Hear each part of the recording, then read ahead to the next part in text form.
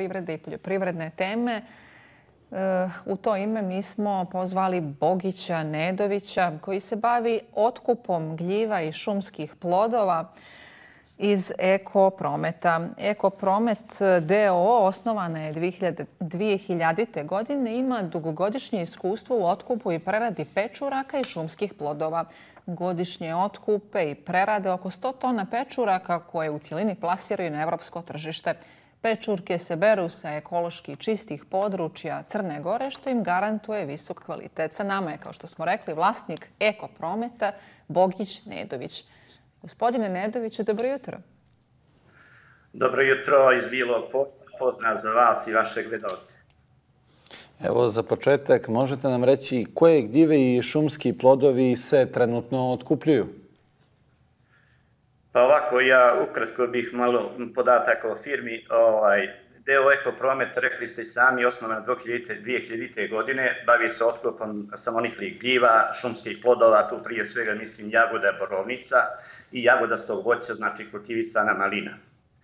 Što se tiče rodnosti, malo prije ste rekli do 100 tona gljiva, to je nekad možda bilo, sad vrlo su male količine i često su nerodne godine kao što je bila prošla godina.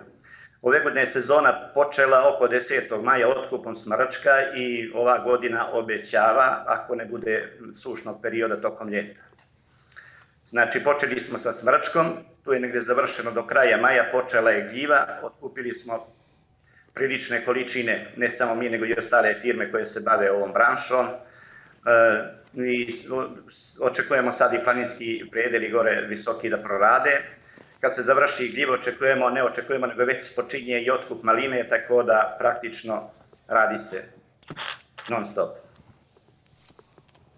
E, kako su rodile pečurke ove godine? Eto, rekli ste da nije to baš 100 tona pečuraka, to je bilo nekad.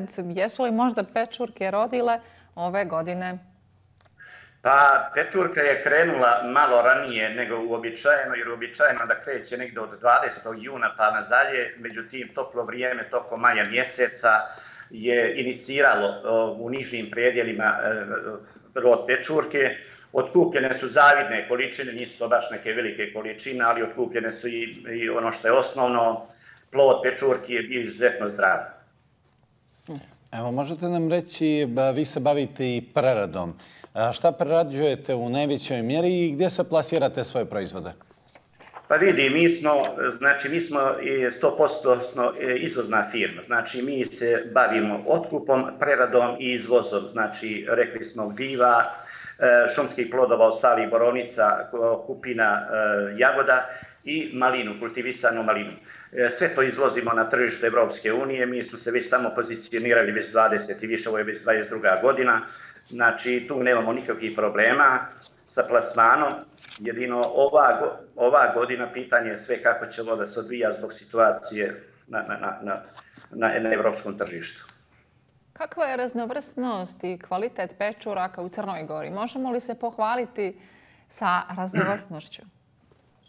Pa vidite, ovaj, Crna Gora ne samo oblasti gljiva, nego kompletnih šumskih plodova je, uvijek kažemo, bogom dana, ali nažalost mi to ne čuvamo do kraja.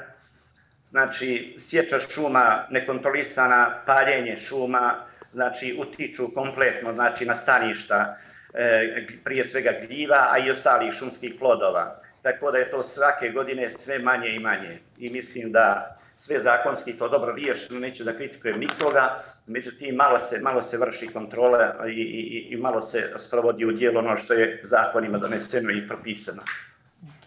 Evo, govorili ste o tim nekim problemima, rekli ste da nećete znati šta će biti s ovom sezonom zbog eh, evo, ove novonastale situacije i svega što se dešava u svijetu.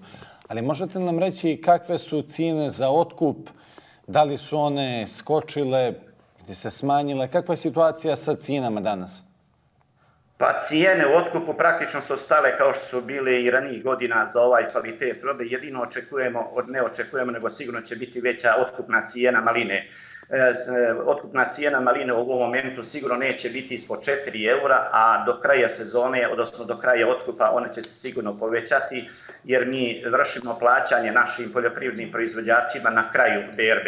Znači, kad se taj, jer se mi nivelišemo sa Srbijom. Znači, pratimo cijene iz Srbije i tako i mi se ponašamo u Crnoj Gori. Ne samo naša firma, nego i ostale firme iz Crne Gore. Gospodine Nedoviću, hvala vam puno što ste bili sa nama ovog jutra. Želim vam puno uspjeha u danjem radu i nadamo se da će naredna sezona, ako već ova nije, biti mnogo bolja. Hvala puno. Hvala i vama na pozivu. Evo, Ljubice i poštovani gledalci, naučili smo nešto o gljivama. Vidjeli smo da postoji problema ove godine i da rod nije baš najbolji, ali nastavljamo dalje. Sađenje povrća privodi se kraju. Zbog vremenskih prilika u pojedinim krajevima sa tim poslom se krenulo ranije nego što se to inače čini. Zbog toga su mnogi poljoprivrednici kasnili sa preuzimanjem rasa